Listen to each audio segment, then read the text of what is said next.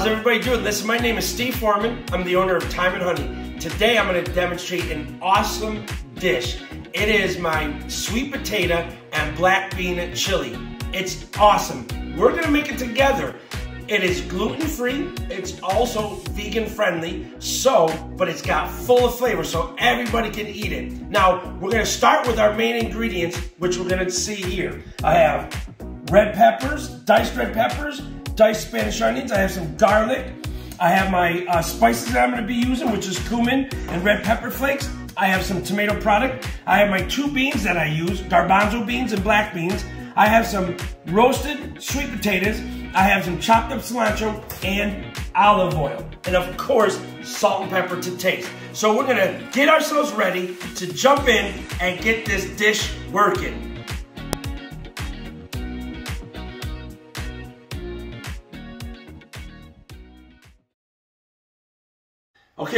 Ready to start making this. So the procedure starts with getting a nice saucepan that we have right here, stainless steel, and we got it on the fire already. I want my pan to be hot first before I add my olive oil. So I'm gonna begin by adding olive oil. Then what I'm gonna do is I'm gonna saute my peppers and my onions together and caramelize them. Very, very important. So I'm gonna demonstrate that real quick. Got my pan hot, got my oil, and you want that oil to be hot.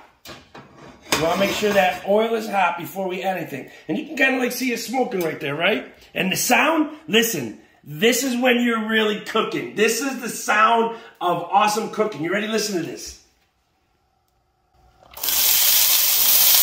Yes, that is cooking, my friend. Starting with our onions. We start with our onions. We're going to let our onions caramelize for a little bit. Okay, we'll talk about caramelization in a minute. But I add my onions first. Next, I let them sweat for about 30 seconds, 45 seconds. Then I'm going to add my diced red peppers. Oh, yeah.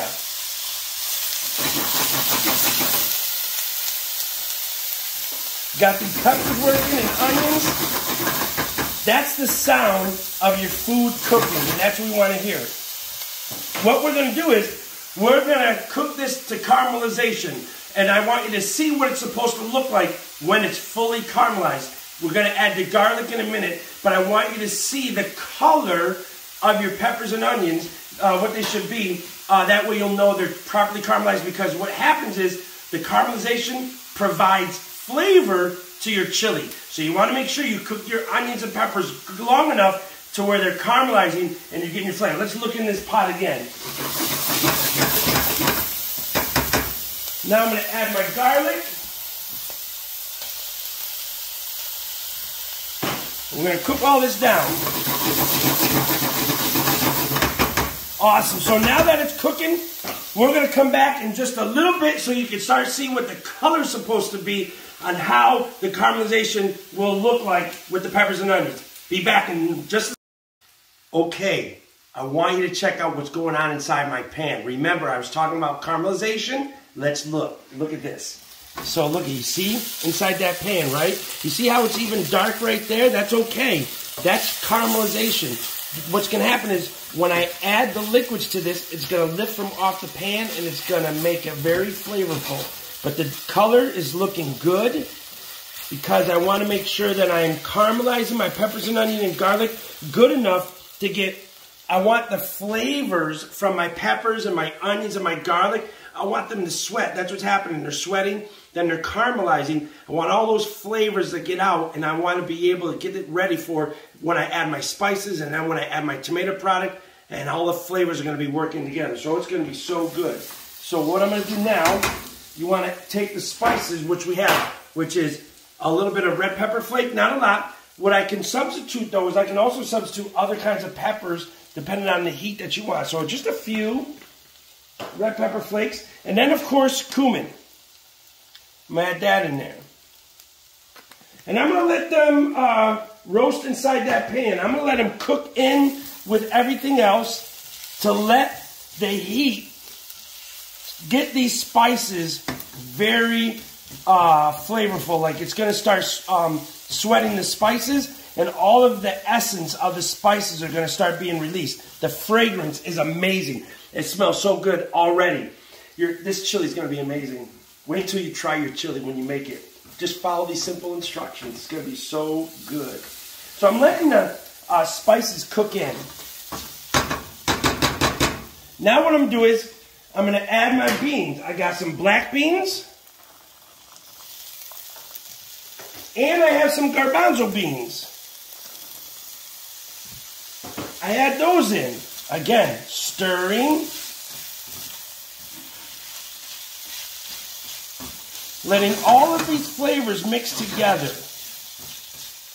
And again, notice all that at the bottom. That's going to come off. That's going to be flavor later on once I add the tomato product. This is going to be so good. So we're going to let this we're going to let this sit on low heat for about a minute. And when I come back, we're going to start adding the tomato. We're going to add the fresh herb, cilantro. And then we're going to add our already roasted sweet potatoes.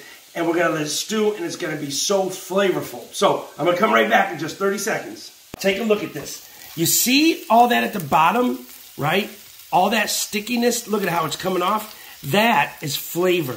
That is the spices. That is the caramelization from the peppers and everything sticking to the bottom of the pan. Once I add my liquids to this, it's going to lift and it's going to um, provide more flavor into the chili. So that's what you want. So now I'm going to take my tomato product and I'm going to add it. Okay.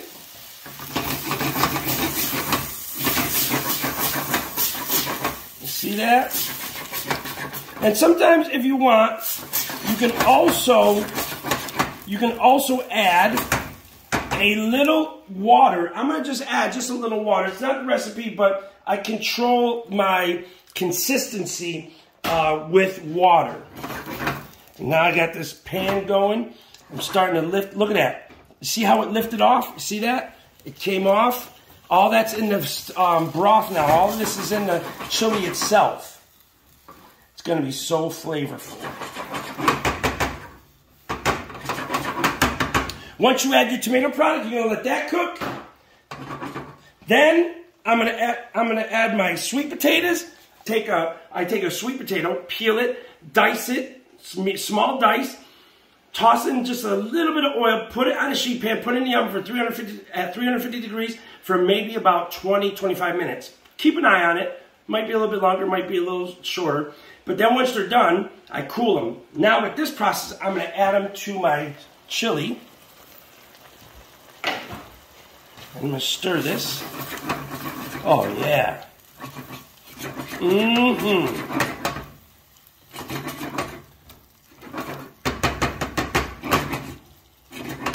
And once after I do that, now I'm going to add freshly chopped cilantro. Look at that, huh? Absolutely amazing. We're going to stir that in there.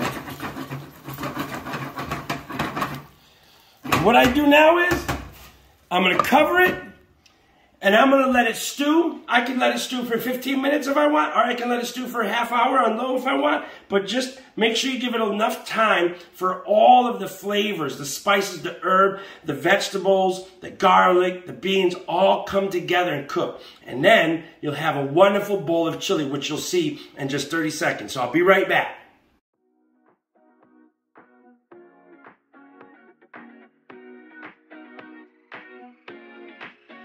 Okay, here we are. We're ready. We're at the finish line. Take a look right in here. Look at that. Mm-mm-mm. That looks amazing. We've already added our salt and pepper, season to taste, just accordingly. Make sure it's good. Got ourselves a little bowl here. Woohoo! Oh, yeah. Oh, yeah. Huh? What do you think, people? You ready? Listen, cheers, bon appetit. Try it. Mmm. See you next time.